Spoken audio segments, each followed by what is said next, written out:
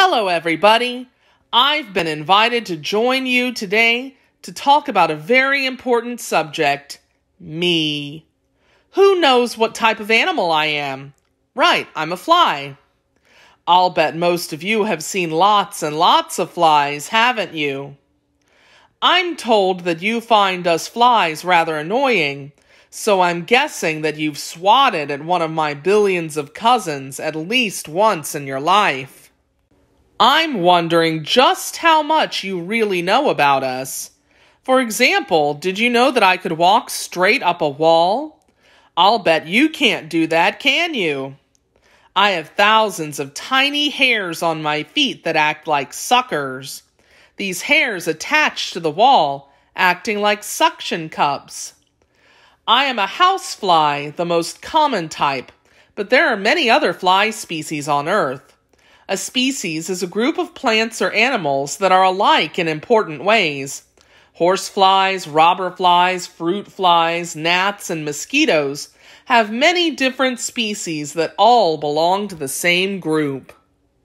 Scientists group animals into different categories. What different kinds of animals can you name? There's fish, reptiles, amphibians, birds, and insects, just to name a few of the animal groups you know. Flies, like me, belong to the largest group of animals on Earth. Who knows which group is the largest? It's insects. For every 10 animal species in the world, about 8 of them are insects. That's about 80% and scientists continue to discover more.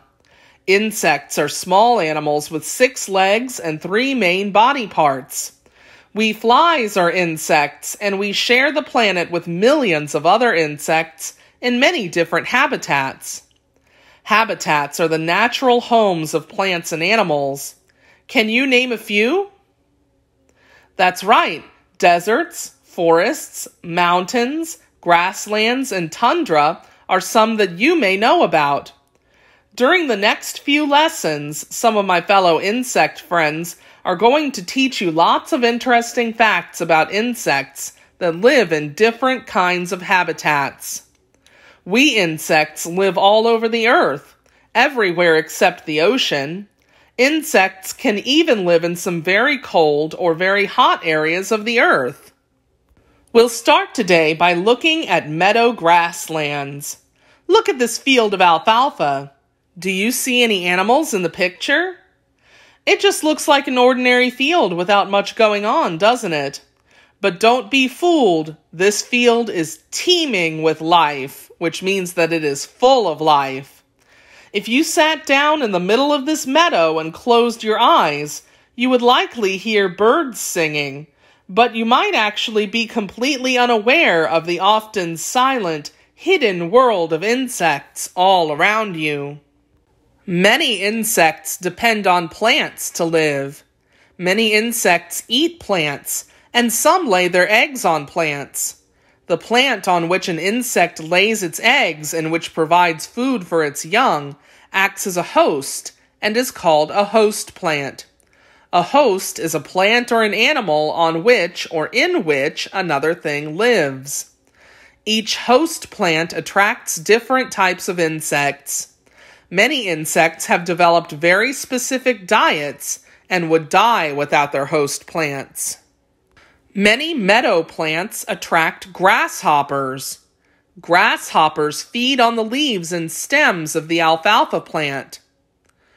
Harder to spot is the tiny leaf hopper, but this wedge shaped insect can slow down the host plant's growth, turning the plant brown as it sucks nutrition from it.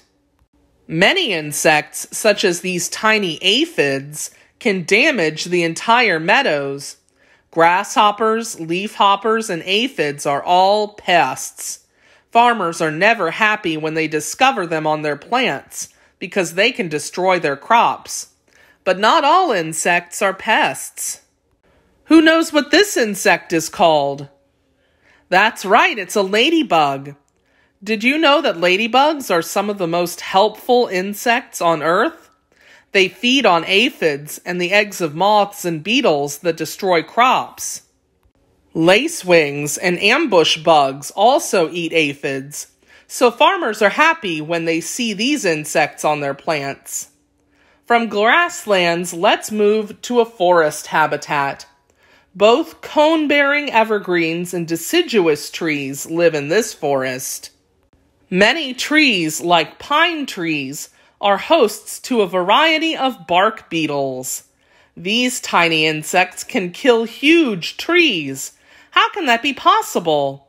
Bark beetles burrow or dig under a tree's bark, creating a series of tunnels in which they lay their eggs. Well, let's think about this. What does a tree need to live? A tree needs water, nutrients, and sunlight to live.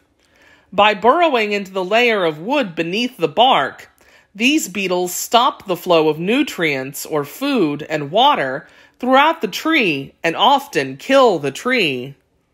Lots of insects live high up in the treetops of the forest, and many insects also live on the forest floor. Can you think of any? Ants are one of the most common insects on Earth, and many live in the forest. Unlike many of us solitary insects that live on our own, ants are social insects that live in colonies or groups. Let's look at an especially interesting social ant that lives in the rainforest. This is an army ant. Army ants travel in big cooperative raiding parties to hunt prey. Prey are animals that are hunted and eaten by other animals. They resemble or look like an army of soldiers as they move across the ground together. These ants are known for swarming their prey all at once. You'll learn more about ants another day, so let's take a quick peek at one more forest insect. This beetle is named for the long, large horn at the front of its head. Does its horn look like that of any other animal that you already know? I'm thinking of a much larger animal. Yes, a rhinoceros. The rhinoceros beetle uses its horn for digging places to hide and for finding food. Male rhinoceros beetles use their horns for wrestling with other males in an effort to attract a female beetle. The winner gets the girl. What kinds of insects do you think live in the coldest habitats? There are many types of flies on the cold tundra, including houseflies like me. This Arctic crane fly has amazingly long legs. And guess what? Adult crane flies have no mouths, so they never eat. These mouthless creatures live only for a few days. Some insects are aquatic, meaning that they live in or near water. Here's one that you may have seen in rivers, ponds, or streams. This insect is a dragonfly. A few minutes ago, however, I told you that there is one large water habitat that does not support the life of insects.